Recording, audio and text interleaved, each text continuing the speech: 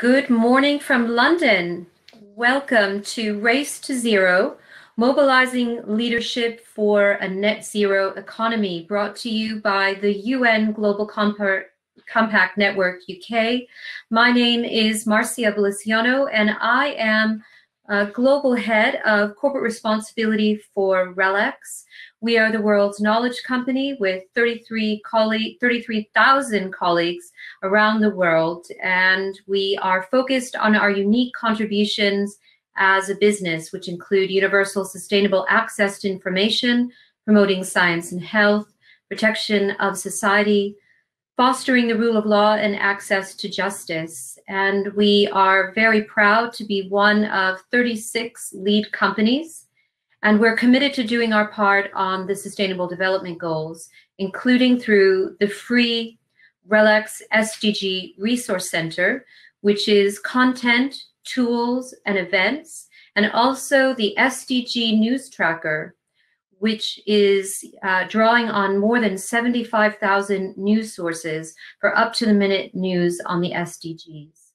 It is also my honor to be the chair of the UN Global Compact UK network. And our mission is to turn momentum on sustainability into practical local action. And we work on three pillars. We want to inspire business ambition to deliver the global goals. We want to enable practical action. We want to shape a responsible business environment. And we offer a wide range of engagement opportunities through three primary work streams. Uh, we're working with partners and participants um, and others on these three areas, the global goals, business and human rights, and climate action. Now, of course, that's our theme this morning is climate action. And among the ways that we support our members on climate. We are helping them with their compliance on TCFD. We are um, helping them to set science-based targets to reduce their emissions. And we also are a partner in advancing business ambition for the one and a half degrees campaign. And we're also preparing for COP26. It was postponed due to the pandemic, but it will be happening between the 1st and the 12th, 2021 in Glasgow. So that brings us to the session today. Uh, earlier this month, the high-level climate champions, along with the UK Business uh, Secretary, Alok Sharma, um, and others, launched Race to Zero. It's a campaign to drive business commitments on net zero emissions targets on the lead up to COP26. So this is a very important agenda. It's a beacon for the um, nations of the world, and in particular, their climate negotiators to raise their ambitions on the climate. It is my pleasure now to hand you over to Dr. Thomas Hale. He's Associate Professor of Global Public Policy at the Blavatnik School of uh, Government at the University of Oxford. Thomas has been actively involved in creating the Race to Zero campaign, including coordinating dialogues to develop the criteria required for participation um, in the campaign. So I know it's going to be a great session. Thomas, over to you, and I'll be back a little bit later. Thank you, Marcia, and thank you everyone for joining us this morning. We're delighted that you're here because we're here to discuss what I think is a very important campaign at a very critical time. One of the expressions that I've heard a lot over the past few weeks is that there's nothing more powerful than an idea whose time has come. I think we're seeing this power of an idea whose time has come play out across country, across the world, um, in a whole range of different contexts, most saliently recently in the context of racial justice. Um, but if we look across the climate change space, we're seeing this extraordinary transition around the power of net zero, of the race to zero campaign as this uh, leading idea, which is taking off and getting more traction than we ever really expected it would. Um, if you remember back five years ago, for those of you who are working in the climate change space, you'll of course remember that around the Paris Agreement, there was this huge push by the small island states, by vulnerable countries, by climate leaders to get 1.5 degrees into the Paris Agreement. And indeed, they succeeded. And that was a big, big surprise for us at the time, right? It seemed like a fringe idea, this idea of climate um, focusing on 1.5 degrees. But then, years later, three years later, rather, we saw a new report from the IPCC saying that actually 1.5 degrees was necessary to preserve climate safety. Um, and here's the pathways that would be required to get there. And so this small idea, which emerged from the fringes of the climate discourse around 2015, has then taken this big step forward with the IPCC, and now is something that we see being taken up by a whole range of different countries, cities, states and regions, investors, and of course, as we're going to talk about today, businesses. Um, and actually, at the Race to Zero launch, there was an interesting report that showed that over half of global GDP, measured in terms of the actors um, uh, who make up global GDP, have now committed to or thinking about committing to a net zero target. And to imagine we came from this sort of fringe idea in 2015 to this big global tipping point in the in the economy just five years later is, to my mind, really proof of an idea whose time has come. And the question we want to address today is how we take that forward. What do we do with that idea now at this real critical juncture for not just a climate crisis, but for economic crisis? We've all seen the, the unemployment numbers from the UK this morning, a lot of sobering information there, a health crisis, a justice crisis, etc. And to do that, we have a fantastic group of climate leaders joining us today. I'm going to ask them to come in now and, and uh, introduce them um, to you.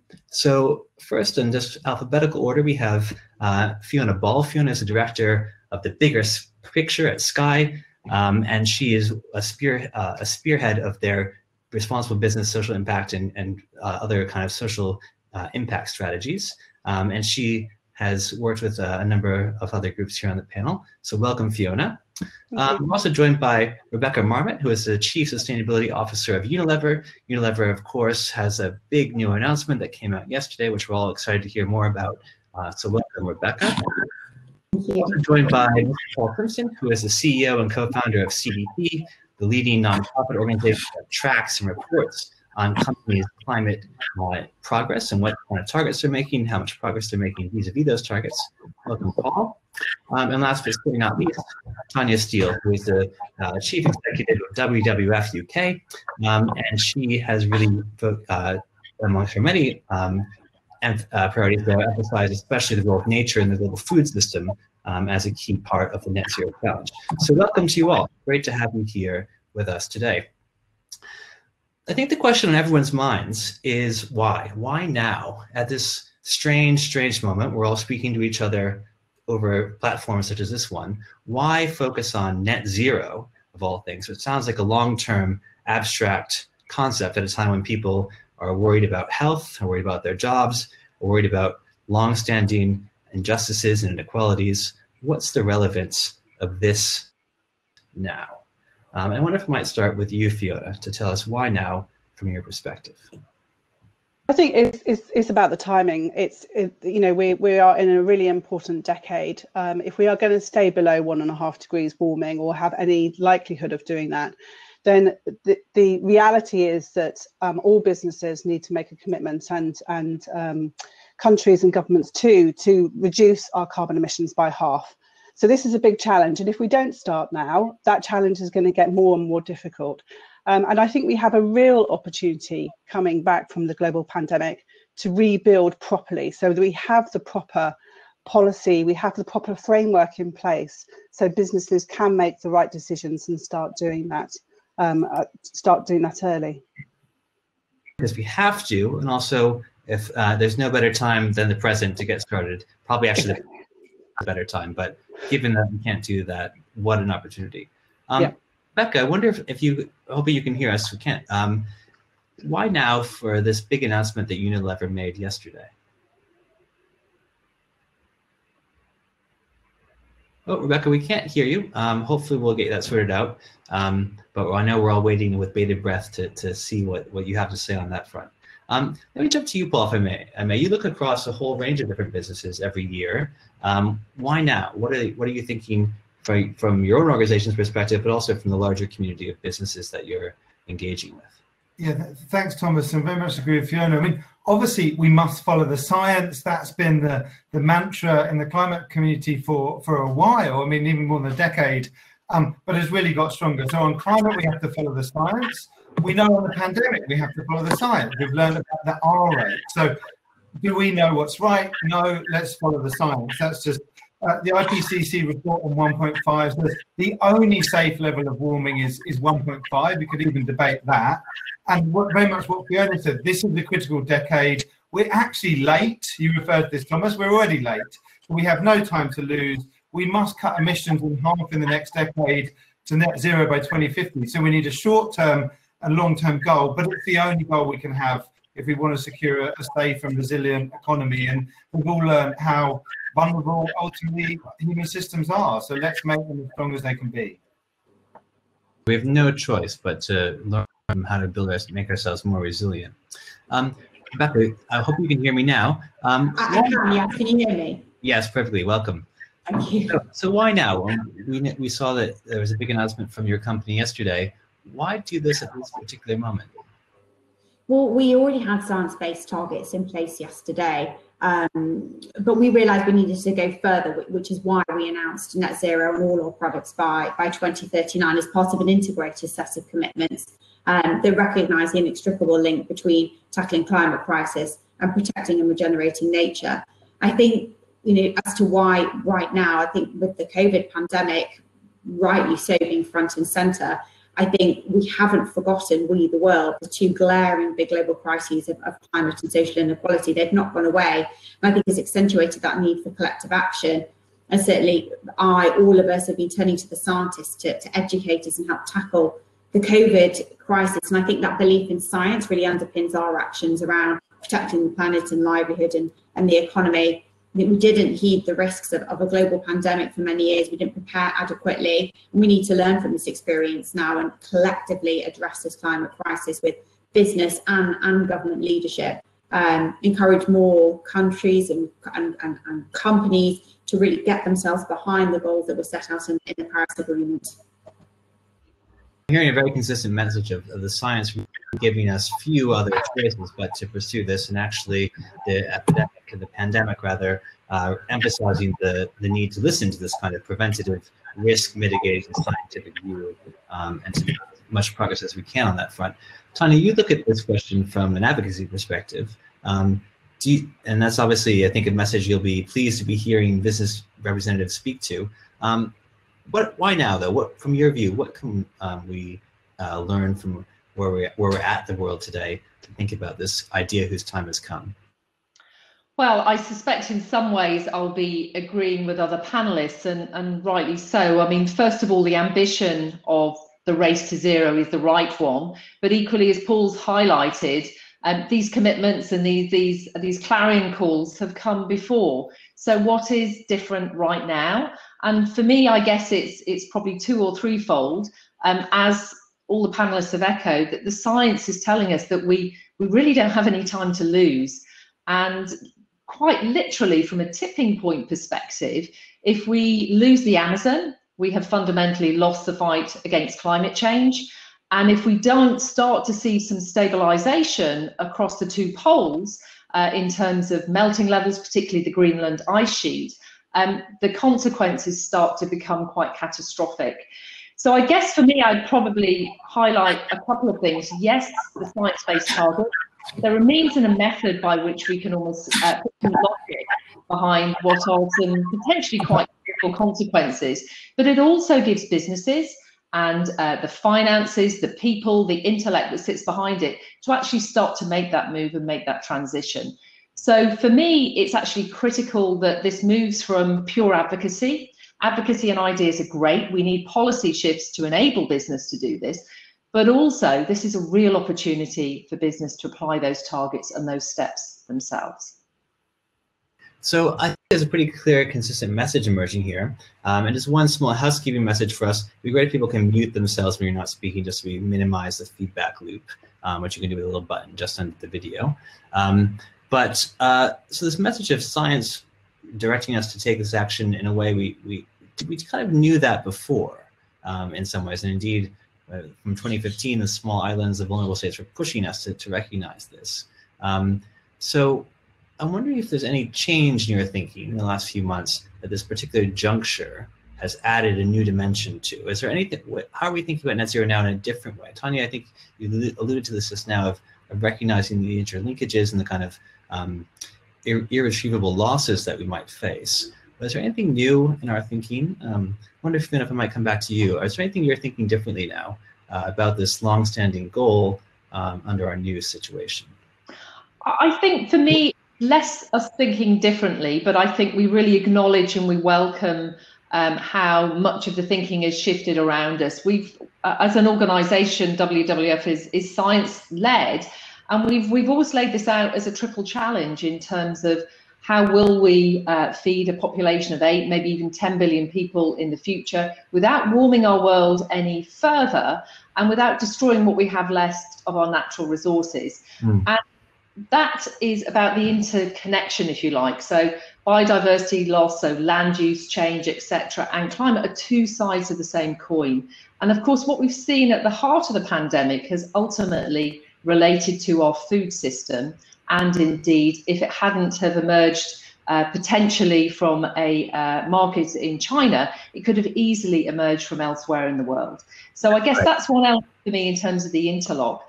I think the other thing it's the urgency it's extraordinary what the world has done and has put in place in the last 90 days in responding to this crisis. And I'd probably quote Mark Carney in this regard.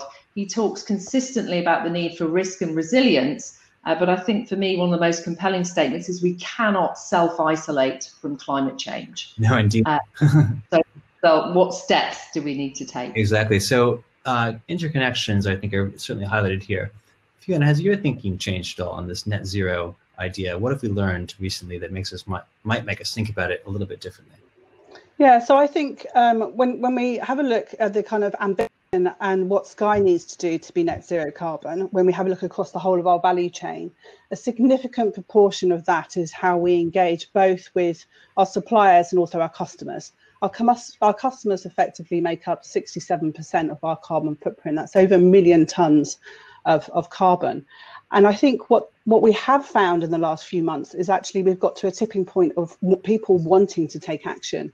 In a lot of results that we've been doing um, um, and, and, and research, 80% of the UK population and the European population would do exactly the same what they've done through the last two or three months to help the climate.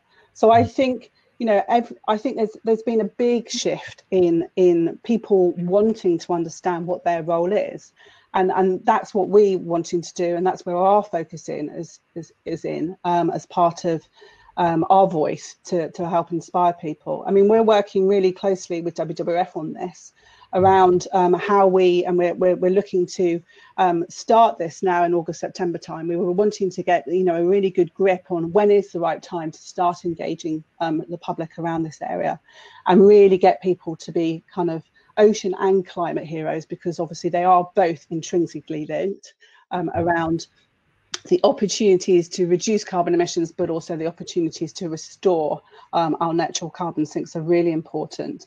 Um, we've got a big program to really help and engage kind of our consumers and the public around what steps that they can do.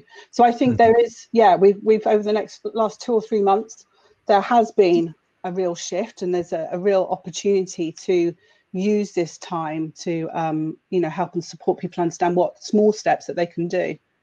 Yeah. I think there's certainly been a widespread recognition across the whole world certainly here in the uk that um, in this time of crisis we saw a huge growth in people's interest in supporting their local communities and thinking how they can come together. One of the silver linings of a very tragic situation has been a real emphasis on what what can i do? What can people do? Um, so i'm wondering uh, rebecca if you might see, refer to that a bit in your, um, if you could explain to us a bit more about your your big announcement yesterday for Unilever. I mean, it was a big step forward in terms of your already ambitious targets. Um, but how does it fit into the situation? And is it different than it would have been if we weren't in a pandemic? Sorry, I missed the last part of your question. How is it different to? I'm curious if the big change uh, that you announced yesterday was in some ways influenced, or was it made? Uh, there was a rationale for making this step in some way influenced by the pandemic. Was there a well, I think I talked. I think I talked a, a little bit at the beginning about the correlations between what I think we've done as a world in terms of stepping up and taking collective action to try and fight against COVID 19. Um, and the fact from it, certainly from a Unilever perspective, we realise now that we can't go back to the old system that was in place beforehand. It's very much now around what we need to do in terms of reinvention. And you know, at a, at a global level, I think we've seen quite a lot of evidence of stimulus packages coming out that put a green recovery very much at the front and centre. We've seen that, for example, with the EU Green Deal. And I think when I look at Unilever and the impact that that's having on us as a company, you know, there are very different ways that I think we as, as a global business will operate. And when I think about what we launched yesterday, you know, reaching that zero will mean us operating our business in, in really quite a radically different way. Um, I think accentuating what we had already done in the past, but but but hugely accelerating that. So probably I guess three areas and, and, and drawing on things some of the other panel have already said and we'd, we'd already done quite a lot of work in the first area around decarbonisation, looking at how do we shift to renewable energy in our own operations. We achieved that at the beginning of this year, and of course upstream in the value chain, and looking at how can we use um, the work that we have with suppliers, our supplier partnerships and our procurement to prioritise now suppliers who set their own science-based targets. I think the second big point, and Fiona, you talked about this, is looking at consumers and the role that we can play in terms of innovation. So, you know, the onus is on us to explore whether we can make our products differently. How can we lower their footprint? How can we come up with new ways to meet consumers' needs that are extrinsically around zero carbon? And then I think linked to that, and, and part of yesterday's announcement was a 1 billion euro climate and nature fund, which we launched to really try and put the consumer communication at the front and center of what we're talking about. So when I think about some of the work our brands have done over the past few years, so brands like Ben and Jerry's ice cream, did a big campaign around if it's melted, it's ruined, or seventh generation in the United States, who've done a lot of consumer facing work through their brand campaigns about the importance of renewable energy. What we're trying to do now is to join up the, the advocacy work that we're doing with governments and really pushing for you know, net zero targets to be put in place from governments around the world. That's around short term uh, reducing emissions, but then longer term, how do we build back post COVID um, through a green recovery plan that I talked about at the beginning to make sure that in the long term we are achieving those those 2050 targets that we've set up. So how do we join up that government level advocacy with the partnerships on the ground and then bring that to life through these big consumer facing campaigns so I think really integrating a, a multi-stakeholder model, so not viewing this purely as, as something that is around advocacy, not just viewing it as something that's in our own operations, or not just viewing it as something that's around consumer um, connections and, and enabling consumers to make those changes, but really ensuring that you join up those different facets. And I think to your point around COVID, we've seen that only really collective action has been successful and, and joining up the actions of those different stakeholders. I think Rebecca, to, to um, think about how putting the issue at the center of not just your own operations, but also your engagement with suppliers and consumers and governments is a part of an integrated package. Paul, I wonder if you could say a bit about how you see this question of the role of business, particularly because we're seeing net zero targets from all kinds of different actors. Um, we're seeing a lot of demand from from people, um, consumers, citizens, etc. Um, governments, of course, have a special responsibility to set policy and, and to lead. But what do you think is, is the kind of key contribution the business community can make um, in this way? Uh, thanks, Thomas. I very much agree with, with other panelists on, on what this means for now. Uh, you know, from our perspective at CDP, and we're part of the We Mean Business Coalition, uh, we think, you know, business it, needs to do at least three things. I mean, there are many things business should need to do, and it's great to have Unilever and Sky, who I think are doing most, if not all of them. Um, but first of all, commit to ambition. You know, we're talking about net zero by 2050.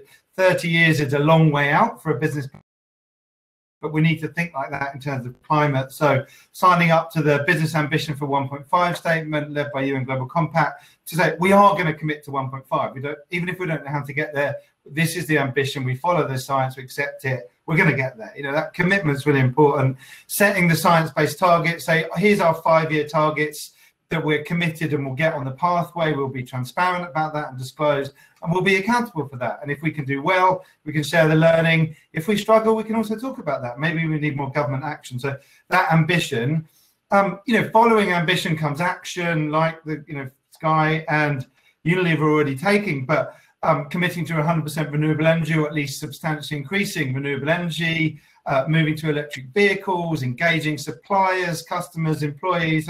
There's so much businesses across the value chain have so many interconnections and they need to you know leverage all of those interconnections for change uh, and demonstrate real action and we, we're lucky we're getting to a point where technology now in renewables in electric vehicles of energy efficiency is very cost effective if you take the right time horizon five or, or longer years and finally businesses need to advocate uh, the dialogue between policymakers and business is in some places you know, richer. Europe um, is pretty good, but businesses need to say this is what we can do and this is what we need from policymakers, and to have that dialogue to really create an ambition loop. We as businesses will go further, but we need additional policies, incentives, measures to help us go even further, so that businesses and governments and other actors really collaborate and work together. And ultimately, this is a huge transition in the economy and society that's required. We're only going to get there by working together. So I think it's the ambition, the action, and the advocacy that we expect to see from business and really seek to support business to do. And we, we see you know, momentum there growing enormously. Great. So ambition, action, and advocacy, three excellent things. Now, to, to, let's play devil's advocate a bit. So, you know, let's let's be serious here. We're looking potentially at the worst economic crisis in our lifetimes, possibly in a century or more than a century. Like this is a, a pretty unique position that we're in. Um, businesses are need to make uh, revenue. They need to pay their employees. They need to pay their shareholders. Um, they're all going through many of them an existential crisis. Now, will I even exist next year or in two years from now? So, you know, given the real crisis moment we're in, um, how how can we like spare the mental space to think about this longer term resilient question? It's such a seems like such a, a dissonance. I wonder if I might speak to, Fiona and Rebecca. You might say a bit about like really the this crisis moment that we're in, where companies are really thinking, "Am I going to survive?" Why is like now the time to be talking about this climate stuff? Um, does it really make sense? Fiona, do you want to uh, offer your thoughts from from Sky's perspective. Yeah, sure. So I think, um, I mean, environment's always been um, a really important um, thing on a number of different ways for business and why it's really important for us to still keep really focused on it. One is around talent and keeping and retaining employees during this time. You know, if, if you know businesses are going to um, recover and bounce back, they need to keep their talent. They need to keep their employees um, alongside them and have the right talent. And I think there's, you know, it's it's really clear that um, you know um, young talent um, are wanting to work for businesses that have climate change at the centre um, and, and not just climate change, a number of the you know the global sustainability goals at the centre of their of their values and and um, their DNA. Um, so and and now actually we're in a position that we, we've kind of all proved that we can all work from home pretty damn effectively to be perfectly honest which is having a really positive environmental impact in some areas of our business in terms of our direct business and scope one and two and commuting. But it actually brings a, another kind of interesting piece around the, the scope of the talent that you can attract to your business is probably widened quite significantly. So, so employees and talent will have a wider pool of, of businesses to um, to go to. So I think by you know keeping it front and center as part of your your business is going to keep long term the right talent and the right employees who have the same value settings as yourself going forward. I also think that it's just coming back in in in a in a good way in in in a way that's um, you know just good business. I mean if you focus on the environmental issues if you look at particularly scope one and two they do have you know significant cost savings involved when you're having a look at how you can reduce your emissions whether that's through building efficiency kind of and, and the lighting whether that's through commuting whether that's through how you can kind of reduce and, and kind of shift. And you know, there might be, you know, the majority of things that we invest in do have a very significant and quick payback, and that's going to help the, the business recover. Um, you know, the, the other thing is that our customers are really calling out for businesses, um, you know, to to be um, you know to be champions in in climate and if we want to retain our customers and you know for the long term then we we need to address the issues that matter to them as well this shift both for employees potential employees for consumers are really not giving businesses a they're saying you must perform well in this because our expectations are raised in these ways um, Rebecca, is that the case you also make internally to maybe some of your colleagues who say, this is kind of crazy, why are we doing all of this at this moment? Or how do you approach the question in the business? Oh, sorry, I think you're on mute, Rebecca.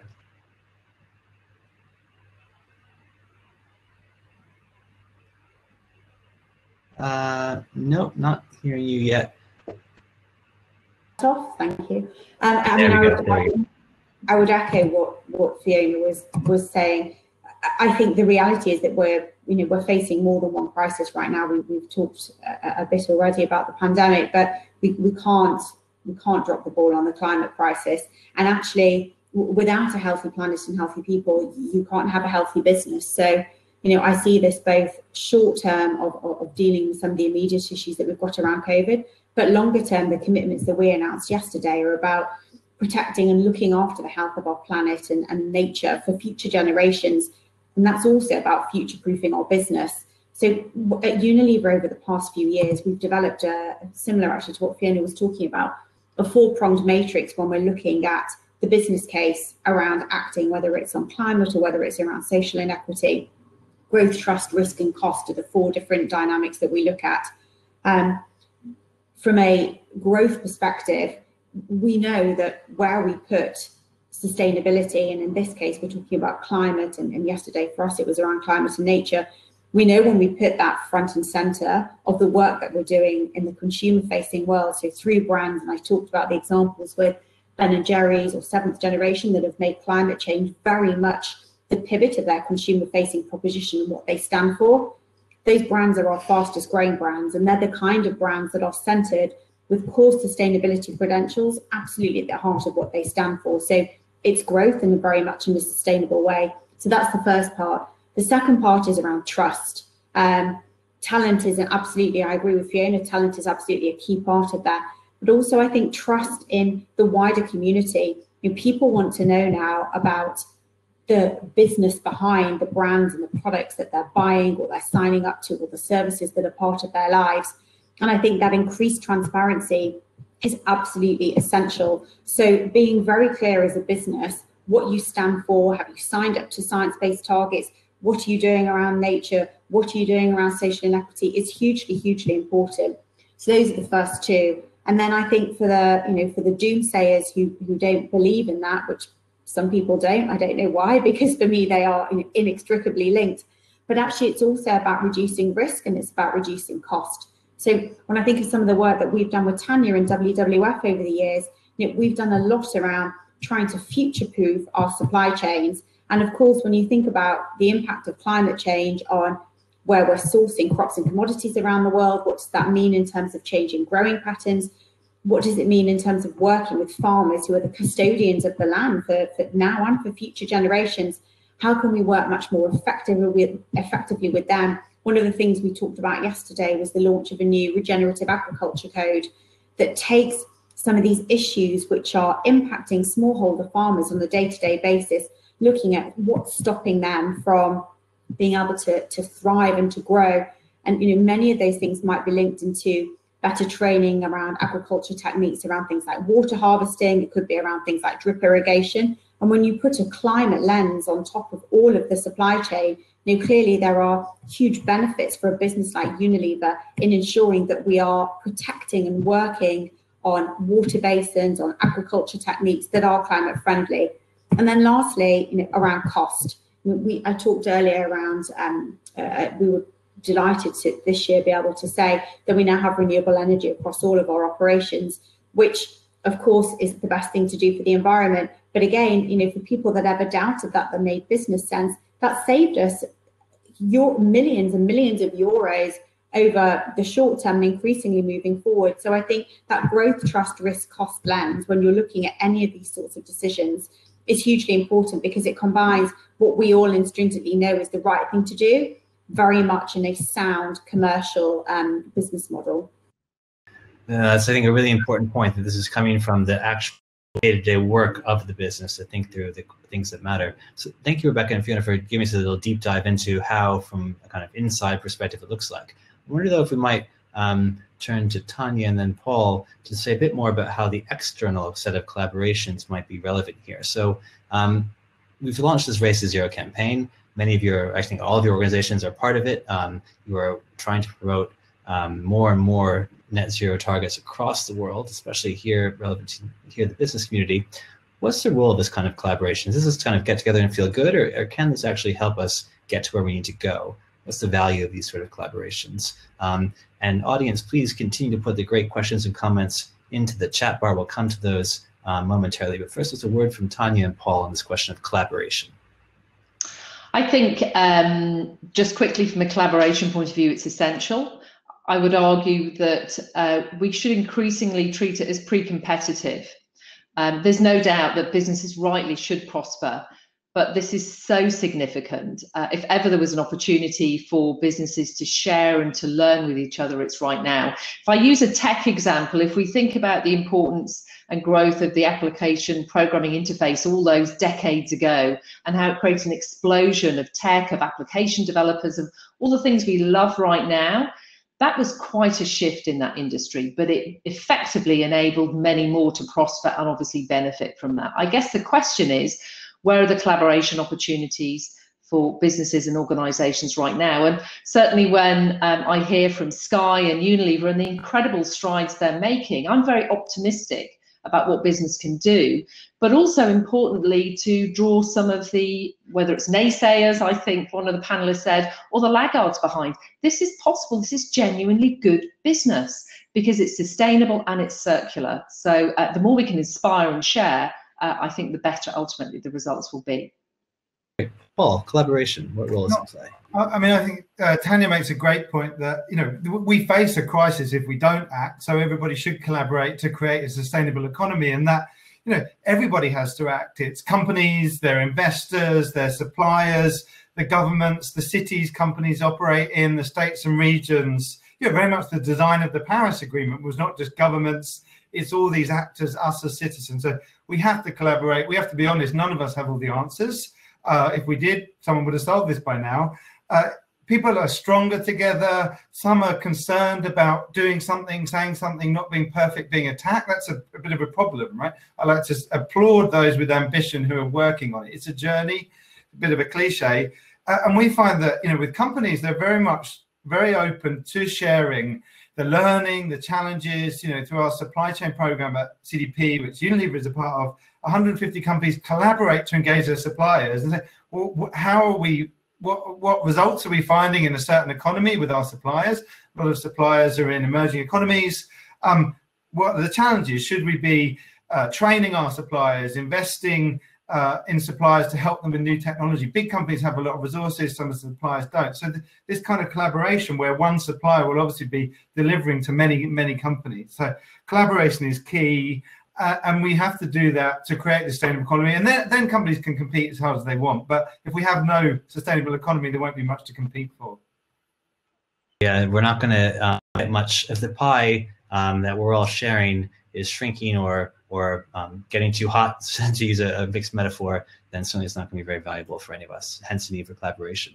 Um, a few questions from the audience, which, I'm going to um, try to bring in now. Um, and sorry, audience, I'm going to paraphrase this just in the interest of time. But the first one I, I hope I could pose to Fiona and Rebecca as representatives of businesses. So the, the question is, um, I'm interested in the panelists' thoughts on the need to produce and consume radically less in order to event, avert the worst effects of the climate crisis. Do we need to stop chasing endless economic growth? And if so, what does that mean for companies? So, and we saw yesterday, I think, British Petroleum BP writing down something like 17 billion uh, worth of assets because it just doesn't going to be people aren't going to need that oil anymore. Um, for your companies, do, is this a risk? Um, and how do we think about this as becoming a sustainable business? Can it be sustainable in a context of ever increasing growth? And if Fiona or Rebecca, either of you wish to jump on that one. Um, um, I mean, I can I can speak first of all. Um, I think, yeah, I mean, this is this is um, a key one. I think for us, I think we need to, and this is the importance around setting really ambitious targets um, you know that that everybody in the business will sign up to because you're right we ca- we can't continue on and make incremental changes um, to our carbon emissions and to the way we do business. We need to think and think very very radically different and innovate as a result of that.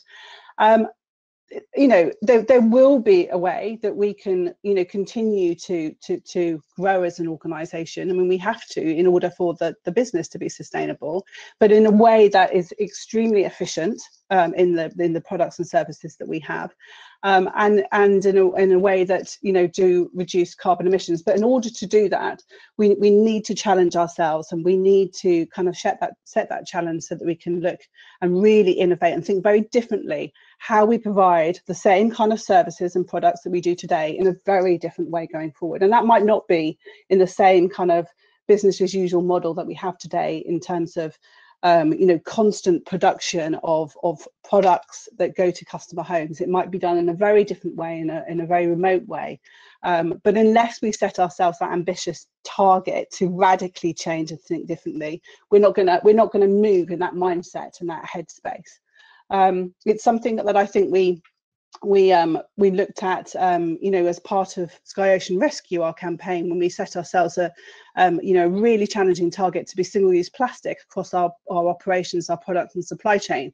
And we didn't um, by the end of this year the end of 2020 and we had no idea how we were going to get there or whether it would be possible. Um, but it was it was that kind of radical target that really made sure that every single part of the business had full ownership of the target and could really have um, the responsibility and the empowerment to think very differently about how we grow our business and how we change our business.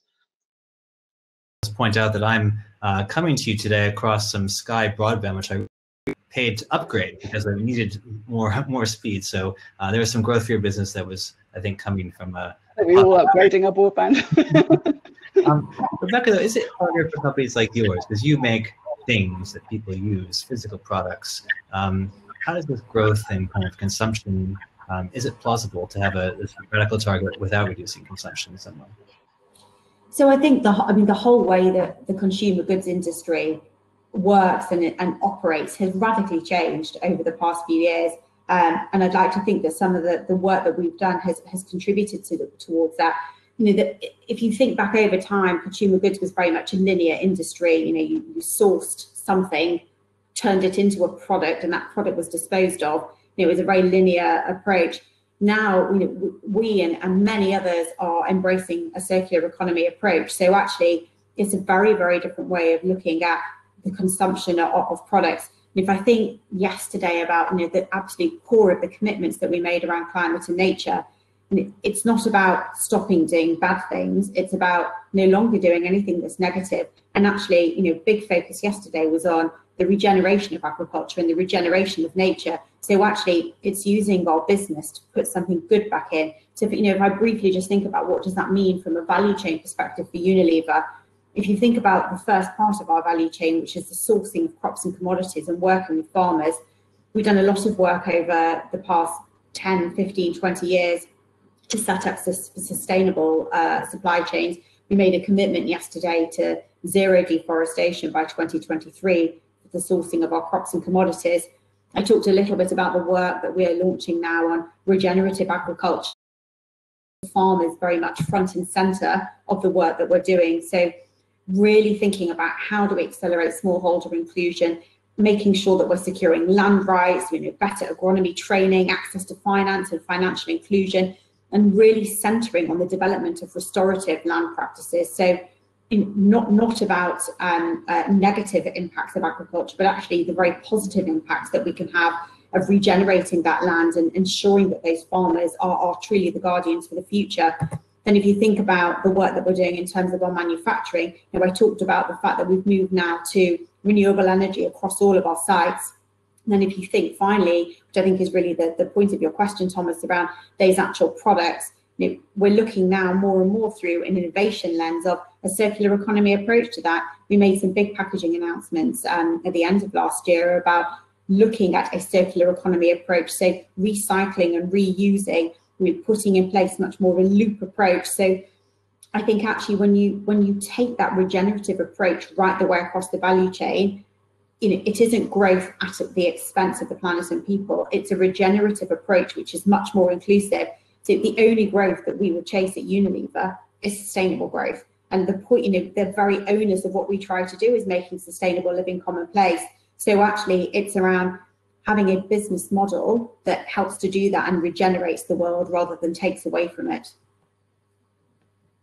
Another different way to think about it, isn't it? It's really going to, as we begin this race to zero and really challenge ourselves to innovate, it's going to be really a mind, mindset shift um, that we're going to be working on, on creating. I wonder, Paul and Tanya, if I might take you to this next question I have here on my list. Um, it's about more the external consequences of some of the, the ideas around net zero. So the person asks, the dual crises of climate change and inequality have been recognized and of course strongly interconnected.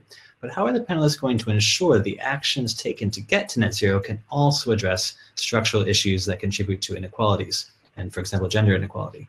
Um, so you know, we're thinking about this transition to net zero, but this is taking place in an economy that we know has some pretty structural problems. Um, we're seeing those exacerbated by the COVID crisis in many ways. Um, so how do we use this transition to try to not just think about um, getting to the regenerative economy that, Rebecca was mentioning, but actually making that something that works for the people in that in that economy? Um, I wonder, Paul and Tanya might, might come on to your thoughts on those. That big question from our, our participant. so, so I, I, can go first. Um, I mean, it's the right question uh, you know, clearly we see um, many interconnected challenges, crises, yeah, not just climate change, but health. It, we all knew inequality existed, but it's brought to the fore in the pandemic crisis. And those who are least able to help themselves tend to be those who suffer most. So we have to move to more of an inclusive economy. Um, the transition to net zero is an enormous transition in, in society uh, and the economy. And uh, the International Labour Organization says that you know, a net positive amount of jobs can be created in that economy but we need to make sure they're distributed appropriately. Yeah, the final thing I'll say, uh, we saw the financial crisis 2008. This, you know, deep recession now is probably going to be bigger. That's a, you know, estimate will definitely be bigger. Governments have, in an unprecedented way, helpfully and thankfully stepped in to help the economy through the crisis. And then you know, there is a renewal of the economy. You know, the World Economic Forum talks about now's the time to reset capitalism. The Sustainable Development Goals give us a framework we don't just want a net zero economy. We want a net zero economy where everybody has meaningful work, you know, their basic needs are met. Um, we reduce inequality, we end racism. This all needs to be designed together. That's an enormous task for governments, business, civil society, for all of us. And you know, what I'm very grateful about is we are actually having the debate now.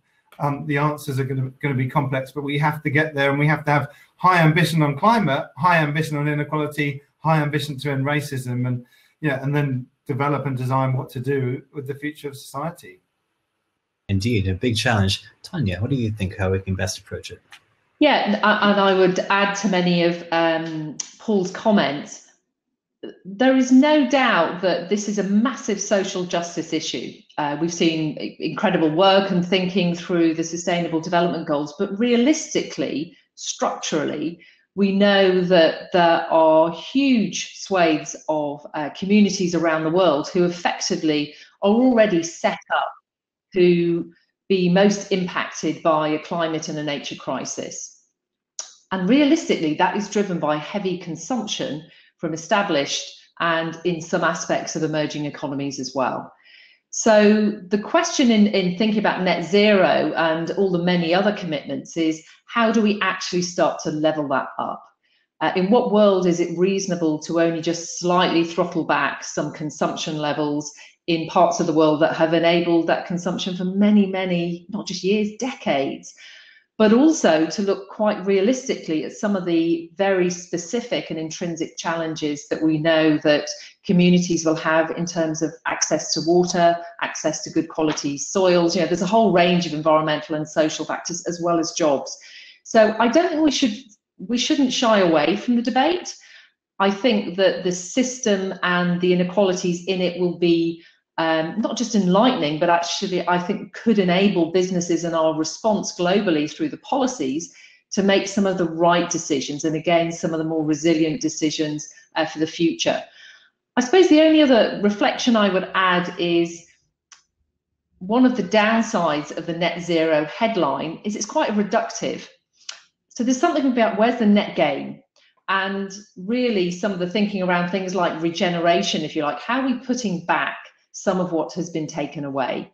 And I also think that would help significantly in terms of, again, starting to address some of these much more systemic issues that have effectively removed resources um, and challenged the rights of some of the communities sitting and living and working in, in many of those settings around the world.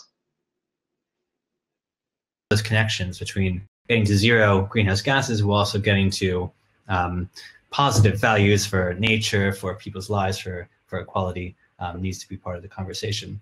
So we've had some big picture questions. We've also had a few, as we get to the, toward the end of our time here, some more practical questions about next steps. Um, so for example, someone asks, how do we join the Race to Zero campaign? So I'm happy to, to point you in the right direction for that one. You join all these great organizations that are working on, on it.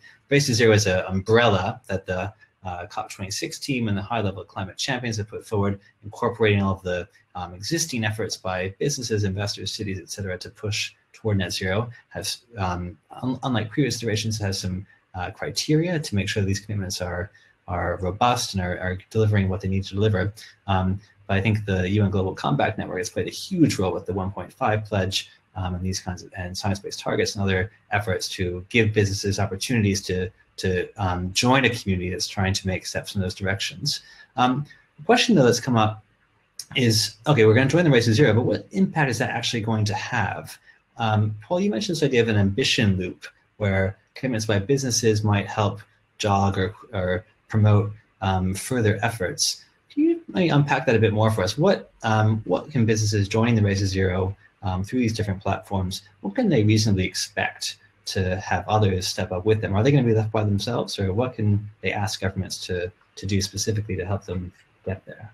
Yeah, but I mean, I'll be brief, but I think this ambition loop is really key. You know, by businesses signing up to business ambition to 1.5, setting a science-based target, some of the key race to zero elements, um, businesses then can engage their suppliers, their customers as employees, and particularly with governments, we do see now a much more strategic dialogue between many governments, not all, it's fair to say, um, where so business can say, we want to do this, we can do this much, but we need this kind of policy. We need an incentive, we need a change in the tax law, we need a carbon price, we need something on trade. It's quite complicated, some of this stuff.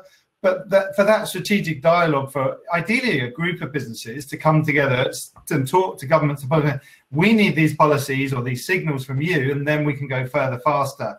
Uh, and equally for governments to say, well, actually, we want to bring in this policy, and 10 businesses with us and 50 businesses against us. This is quite difficult for government. So we need to have that dialogue, be aligned on the ambition, and what are the steps to get there that business, government, investors and others can, can all take together and help others to go further. There's a big summit coming up in November, coming up next November because the COP has been pushed back by a year. It's actually a really good moment for businesses to be thinking about how to engage with governments as they're beginning to think about what their next steps and ambition might be. Um, I wonder if I might, keeping on this theme of practical next steps, call on, on Rebecca, and Fiona to share us, what's your kind of key takeaway for the audience today? We're going to join the race to zero. That's already a given that, that one's ticked off the box, uh, that box is ticked. What are some other practical next steps that we might um, start doing here? And feel free to jump in, whoever has a has a thought. I'll, I'll jump in quickly. Um, I think that from a practical next step perspective, I really like the way that Fiona and Rebecca have framed, yes, some of the politics or the policies, yes, the steps that they need to take as a business, but also keeping an eye on their consumer in terms of how are they helping customers. right now we know that so many people feel utterly overwhelmed by the challenges. And I think if, if businesses can reach in both those directions to enable all of us, um, not just through our working life, but actually through our day-to-day practical life to take some of those steps, uh, then let's hope we back some of those businesses moving forward as well. Great. Becca or Fiona? Um, I would I would probably say um, you, you, need to make a public commitment. You need to understand what your your target is and, and and go out there and make a public commitment. If you don't want to necessarily do it on your own, I you know you, you can't do this on your own without collaborating with others, other suppliers, other businesses, and particularly people within your um, sector. So um, you, you know Marcia, um, you know, and, and RELX are part um, alongside us as part of a Responsible Business Media Forum, and that's a great way of sharing um, you know, commitments and um, plans around climate. And, you know, we're looking at how we can come together to kind of have a sector approach to net zero carbon. And we've done the same thing with BAFTA Albert Consortium around measuring and understanding the emissions associated with products and production. Um, um, so I would say have a look around to see what your sector's doing um, whether there's you know there's something that you can you can join so that you have the same approach with others in your sector but collaborate with other businesses and learn that way. Your your peers to begin working together a really important next step. Rebecca your thought on the practical next steps we can take forward from here? Well so, so certainly on our side we announced 10 big new commitments yesterday so i've got a clear work of things that we need to do. But you know i think from that i would say make bold public commitments. You know, it, I think that's really, really important, and that's expected by stakeholders now. You know, I think the second part about that is, and, we, and we've learned a lot about this over the past 10 years with the Sustainable Living Plan, both where we did well and also where we didn't do so well. And, and, and we realised and took the learnings from that, which is, you know, measure, um, measure what you treasure, be very transparent about that. Um, and, and I think you know, be very open and transparent. You know, we're increasingly using technology to be able to, you know, when we make commitments around things like zero deforestation, actually working with tech partners now on satellite mapping, you know, looking at what we can do, really, you know, blockchain for consumers, really being able to show to consumers the provenance of where they're of the product that they're using or the service that they've signed up to. You know, what's behind that? What's in the value chain? And tech like blockchain is hugely, hugely important for transparency and being able to unpack what's going on. You know, and then I think lastly, to, to, to the point of, of consumers working collectively, you know, one of the things that we, we made a commitment to yesterday was carbon labeling uh, for all of our products. You know, and historically, that's something in the consumer goods industry that's been really, really challenging because if I walk into a supermarket and I pick up a product and it says 10, I, I don't really understand is 10 good? Is it bad? Is it indifferent? 10 what? What, you know, I don't really understand what that means. Right. And I think, to, you know, everyone's comments working within your industry to set very clear guidelines and parameters and holding yourselves to account is really, really important way for us to be able to bring all of the stakeholders who are necessary on this journey on board so that we realize that we've got a collective and shared responsibility. Absolutely. And I think that point of learning as we go along is really important because it's a huge race and we're all going to be figuring out, no one knows exactly how we're going to get there yet, but we need to get there. That's the message that's really come through very clearly from our fantastic pan panelists. So thank you, Rebecca. Thank you, Paul. Thank you, Fiona. Thank you, Tanya. Let me pass back to Marcy to tell us, um, some final thoughts as we come to a close.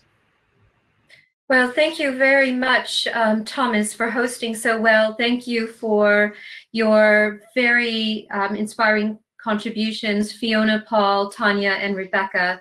Um, here's some of what I heard. You know, why focus on this now? There's a need for global collective action, which has been accentuated by the global pandemic. I heard about the three A's, ambition, action, and advocacy. I also heard that this is about pre-competitive collaboration, that it saves us money, it helps our suppliers to get there too, and we need to, to help them to do that that we need to create that ambition loop, which Paul talked about, to meet the expectations of a full range of stakeholders, and that we also need to be thinking about a fair distribution of net zero jobs. Um, these are themes that we're going to be carrying forward at the RELX SDG Inspiration Day on the 24th of June in partnership with the UN Global Compact UK, the UN Global Compact India, the Ban Ki-moon Center for Global Citizens, uh, the Responsible Media Forum, which Fiona talked about, um, and also Global Citizen, and the details are on the RELX SDG Resource Center. We need to say a special thank you to our colleagues uh, at the Secretariat for the UN Global Compact UK Network, of course, to all of you for joining. And then I wanted to wish a special happy anniversary to the UN Global Compact for 20 great years. Here's to 20 more years of mobilizing business action to address climate change and to achieve the SDGs. And I'm going to paraphrase something that I heard Al Gore say yesterday in one of the sessions. Will is a renewable resource. Thank you. Enjoy the rest of the Leaders Summit, and we look forward to catching up with you on this conversation. Please reach out to us at the UN Global Compact UK Network. We would love to work alongside you. Thanks, everyone.